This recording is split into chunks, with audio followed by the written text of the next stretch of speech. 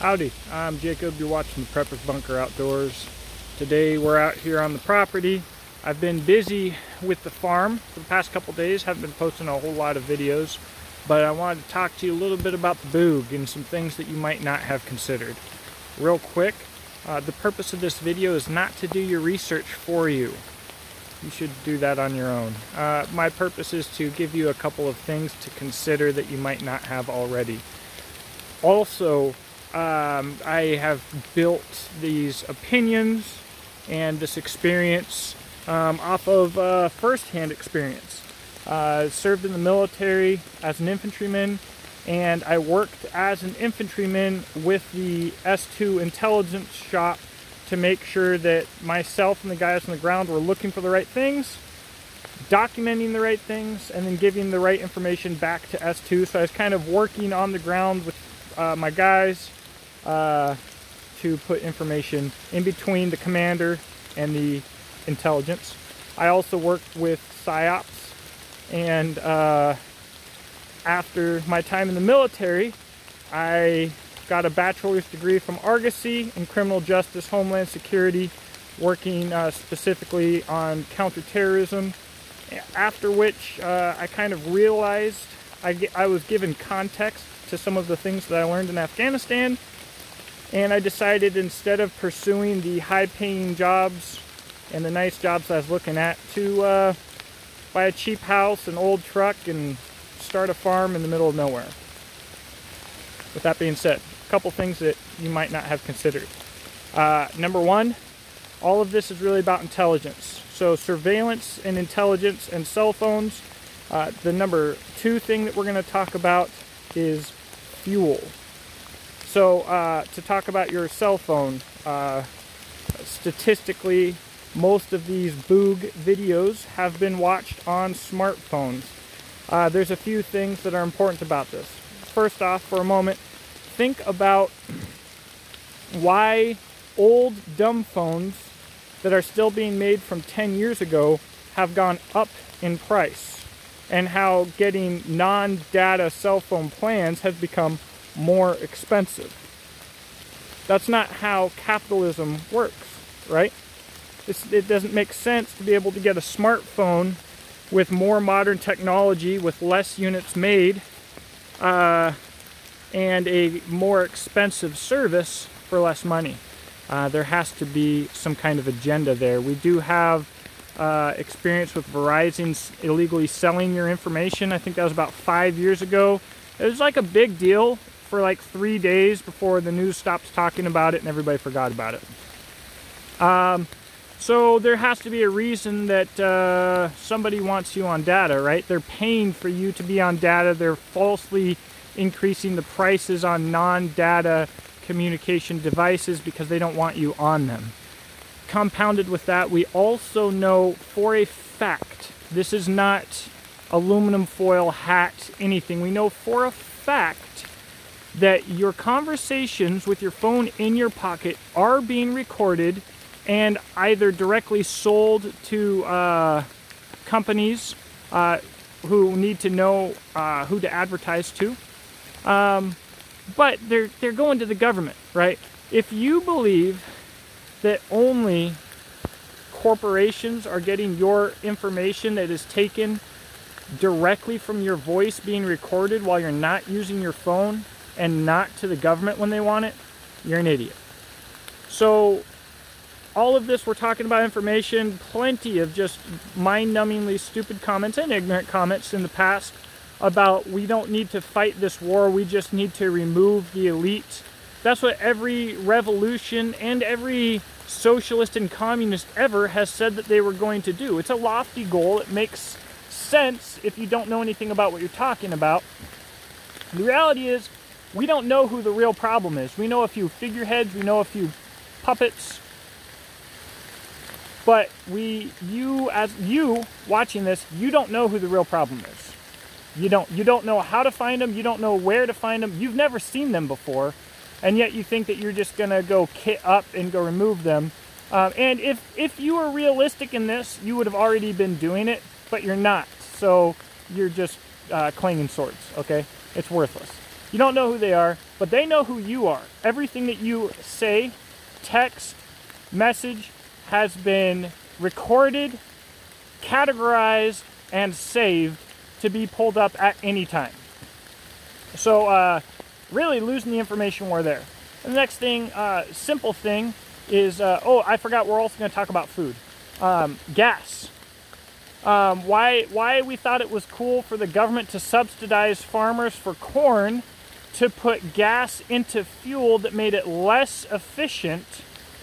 Everybody's scratching their heads and, and wondering why the, this is all tied to the farming industry and why these things don't make sense. It's because your fuel's going to go bad in a couple months. A couple of people out there are storing gas and putting, uh, you know, your uh, gas protection chemicals into it, whatever, uh, fuel stabilizers. That's good. Most people aren't. The government, all they have to do is shut off the flow of gas, and all the gas that everybody has is bad in a month. You might get six months out of it. and they're going after diesel because diesel uh, stays good much longer. Now you got DEF fluid and all kinds of electronics. Nothing. We, we've we've accepted so much uh, freaking uh, emissions regulation that we've allowed ourselves to be completely dependent on transportation, which is why I drive that old goofball right there. One of the reasons. However, so you, you need to consider like how am I going to move? All right. Next, Monsanto. Obviously, they have to get Monsanto corporate heads into politics. They've completely taken over everything. Their seeds don't germinate. So if they want to cut off the food supply, you're not getting any more food. The uh, Mennonites and the Amish, bless their hearts, a lot of them don't know what GMO is. They're buying seeds and they're growing. It's still GMO. You can find GMO now, but you, or GMO free, but you gotta look for it. All right, and uh, so we're completely dependent in that regard. And finally, let's talk about let's talk about real quick the military. People are like, the military is going to swing in and save us. No military commander since Erwin Rommel in Africa has been able to effectively move without logistical support.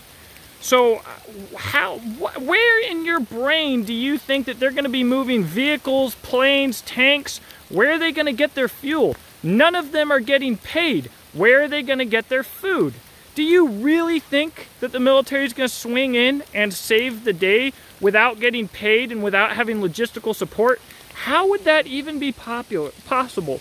And uh, in case you don't know, everybody has this false idea of what the military is nobody, uh, you know, uh, I, I don't like to speak in absolutes. So, statistically speaking, no relative number of military personnel know crap about survival. They couldn't go start a fire right now. They can't survive on their own without food. They've never been without food more than three to five days. Some of our crustier guys and Marines over on Okinawa did a bit of survival and stuff, but it's not enough and it's been a long time. And those Marines have gotten old, fat, and have families now.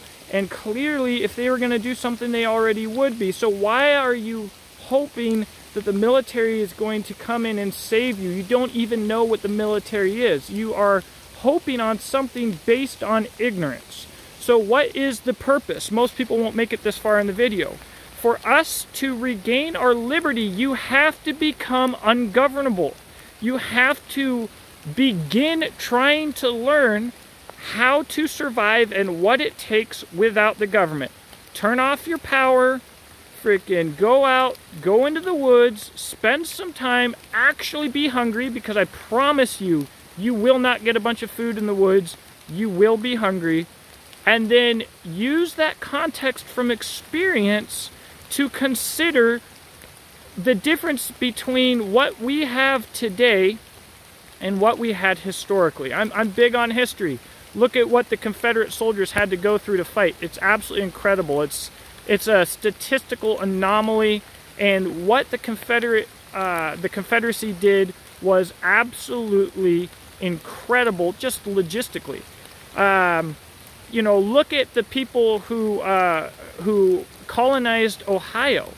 All right, they decided they wanted to colonize Ohio, so they left on foot in December. They walked 700 miles. They got to where they were going in April. 48 guys, by the way. In April, they spent a month building multiple boats. They floated down the river. They started colonizing. Uh, men's men. Go out, get a wagon, get a crosscut saw, take an axe, and build me a doggone boat. I mean, these people in our past, and in Afghanistan, and in Vietnam, and anywhere else, are able to resist because they are essentially ungovernable. And yet, even in our own revolutionary war, without outside support, there has never been a revolution that was successful that would have been successful. That's why we spent so much money in Afghanistan to help uh, the, the Afghans fight the Russians, and that's why the Russians and the Syrians are funding the Syrians to fight us in Afghanistan. People are talking about revolutions and they don't even understand what's going on. We're not fighting Afghans. The crap is wrong with people. I don't I don't really get I don't really understand. It's it's beyond my comprehension. However, those are some things to consider. Boog 101 uh, I'll try and put a video link up here to my other videos. They're not going to be positive. Uh, if you're interested in this kind of thing and this video pisses you off, freaking prove me wrong. Throw on a pack and go out and start getting some experience because, again, the goal is to become ungovernable. Go get firearms training with DTI, Tactical Response. There's uh, with Clint Smith. There's a bunch of good places to get firearms training, get survival training, actually go out and do the stuff you fantasize about and then come back and we'll talk. I mean, because all the, it's, people are like, oh, he's trying to tell us not to fight. No, I'm not trying to tell you not to fight. There's, there's no other option but fighting. But don't fight stupid.